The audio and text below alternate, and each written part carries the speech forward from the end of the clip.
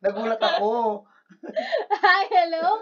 Good morning, good afternoon, good evening, Matibay baby. Na-heart attack ako doon. Welcome again to Matibay Matibay Class. Class. Okay. Okay, compound So- interest na tayo. Compound interest, parang yan din yung topic ko sa college. compound interest and our compound interest is Anong module? Module, Module 18. 18. Ang bilis. Module 18 na tayo. Again, for Module 18, we will be talking about compound interest. And do we have objectives, of course? Ilan? Define a compound interest. And the second is to compute maturity, future value, and the compound interest. Ayan. Super duper hyper. And we have our formulas. Okay. Ba't parang mas mahirap yung formula mo? Ay, pareho lang. Parehas. Okay? Uh, maturity value is equal to principal times 1 plus R over N raised to the power of N times T.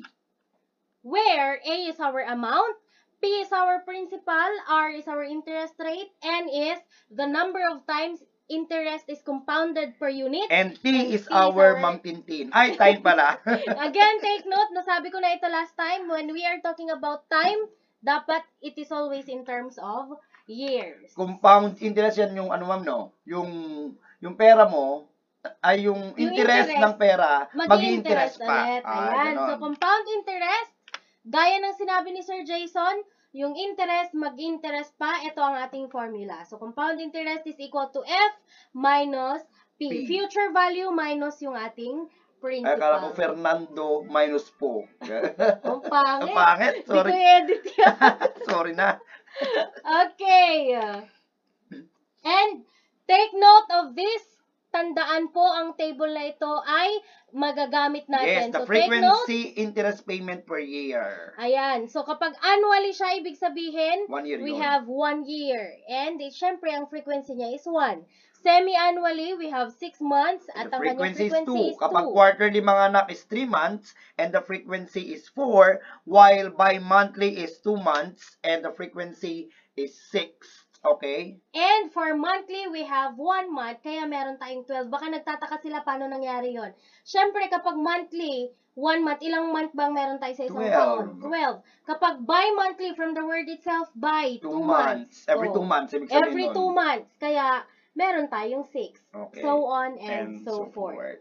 So, para mas maintindihan natin at may apply natin kung ano yung mga nakikita ninyo dito sa ating PowerPoint, let's Pailawin natin with ang mga bumbilya. examples. Our first example is this one.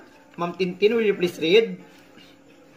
Find the maturity value and the compound interest of 15,000 compounded quarterly at an interest rate of 5% in 5 years. Okay. Take note of the word compounded quarterly. Okay? Let's get our maturity value or amount or ang at tinatawag nating A. So let's extract the important values on the problem. Isn't it, ma'am? Ang hinahanap po natin is A or the amount. So we need to find our P. Okay? We need to find our R. We need to find our N. And we need to find our T. Isn't it? On our problem, our principal is equal to, obviously, it's 15,000. 15,000. Our rate should be in decimal number, 5%, okay? 5% in decimal number divided by 100, that is equal to 0.05. Nakakasunod bang tin? Yes. 0.05 and, okay? Since sabi po, compounded quarterly, sabi natin kanina, kapag quarterly, that is equal to 4. 4. Okay, so this is 4. And time, in terms of years, that is equal to 5. 5. Okay? With that, we are now ready to solve for our A. A now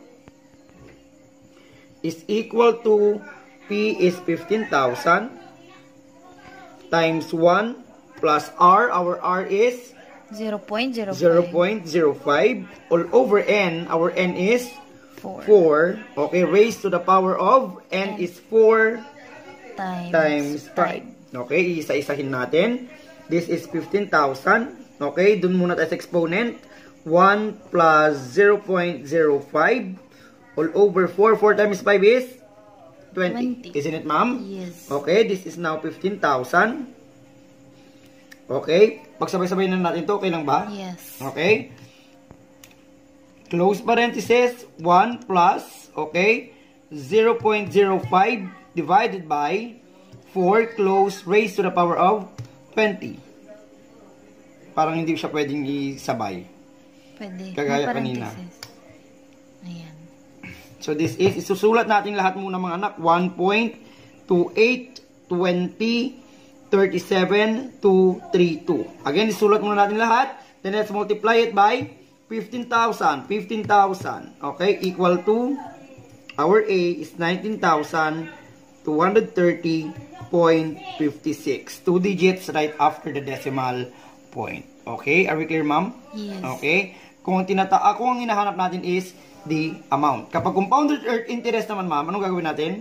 Kung compounded interest, okay, ito Minus. minus 19,230.56. Ima-minus lang po natin Si yung 15,000. principal, which is 15,000. Okay, so minus 15,000. That is equal to 4,230.56. Okay, compounded interest. And this is your amount or future value. Okay, are we clear, ma'am? Okay. Let's have example number two. Chris Bar... Ano to? Chris Barrow. Chris borrows 40,000 and promises to pay the principal and interest at 12% compounded monthly. Okay, compounded monthly naman tayo. How much must he repay after 6 years? Okay, so kailangan pa rin natin si P. Kailangan pa rin natin si R. Kailangan pa rin natin si I. N. And kailangan pa rin natin si Time. T. Okay, our principal is obviously it 40,000. Okay, rate is 12% and that's equal to 0.12. 12. Okay? And compounded monthly, ma'am, anong sinabi po ng ating frequency kapag monthly? It is 12. Maliwanag po yun. And time is 6. Okay? So, let's have this one. So, ituloy natin. A now is equal to 40,000. Okay? Times 1 plus 0.12 all over 12. But 12 times 6 is 72. Ma'am Tintin, bigyan natin ng warning yung iba. Hindi dapat siya idiretso. So, dapat pag-timesin mo muna exponent. Are we clear, Ma'am Tintin? Equal to, this is 40,000. Ito na ang pwedeng idiretso muna. Yan. Pwede na idiretso yan. Pangit muna. 1 plus 0.12 okay, divided by 12 raised to the power of 72 equal to 2.047099312. Then, i-multiply lang po natin yung 40,000. 1, 2, 3 equal to, dumoble siya, 81,883.97. So, this is our future value. Okay, to compute for the compound interest, compound interest is equal to the future value, 81,883.97. Ima-minus lang po natin yung present value which is 40,000. Okay? Minus 40,000. This is equal to 41,883.97. Okay. Try natin, sir, pag ganito. Try natin, ma'am. Pag tuloy-tuloy. Ituloy-tuloy natin, ma'am, no? Yes. Ito yon Kung pareho. Kung ganito yung calculator mo, pwede ituloy-tuloy. Tingnan natin. So, this is 40,000. 1, 2, 3. Close parenthesis. Okay, 1 plus fraction 0.12 all over 12. Okay? Raised to the power of 7. raised to the power of 12 times 6. okay? 12. Are you sure? Yes. Times 6. Okay? Equal Cross to fingers. Okay, so Oh, tama. 81,883.97 pareho lang sila. So dapat talaga ganito yung calculator mo para tuloy-tuloy. Pero kung ganito yung calculator mo, kailangan mo munang Tuloy-tuloy ang patience. Okay, so let's have example number 3, ma'am. Ano pa ba tayong example? Yes, meron pa. Last example tayo, na problem example. Hindi ko mahanap na sa example number 3. Okay, jo Josh borrowed 3,000 at 3.5 interest rate compounded semi-annually. How much would he pay after 8 months? Ay, wow, maganda tong problem na ito. So, in looking for A, okay, we have to find out our P. Ano pa po? R. Our R, N. our N, T. and our T. Okay? Our P is 3,000. Okay? Our R is 3.5%. But 3.5% is also equal to decimal number 3.5 divided by 100. This is equal to 0.035. N is compounded semi-annually. Sabi po ng ating semi-annually, that is equal to 2. Okay? And time is 8 months. Okay? Since months po yung bigay, kailangan po natin siyang i-convert into years. And to convert that into years, Divided by 12 divided months. by 12 months. Why 12 months? Because we have 12 months in a year. Okay, 12 months in a year. So we have now 8 divided by 12 is, ay, sorry na. 8 divided by 12 is equal to 0.67. 0.67. 67. Okay na yun, ma'am, no? Kung ganyan. Okay, 0.67. Okay? So we're now ready to find our A. A is equal to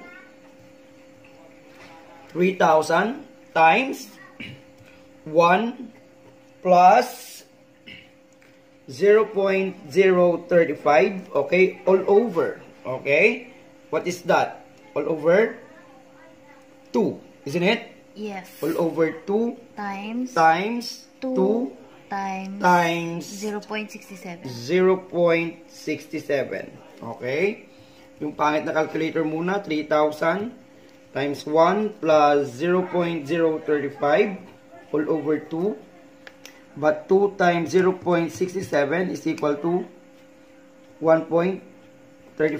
Isn't it, Martin? Yes. Okay?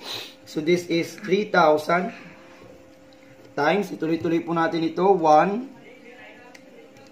1 plus 0.035 divided by 2 raised to the power of 1.34, isn't it? This is equal to 1.0235 19497, okay?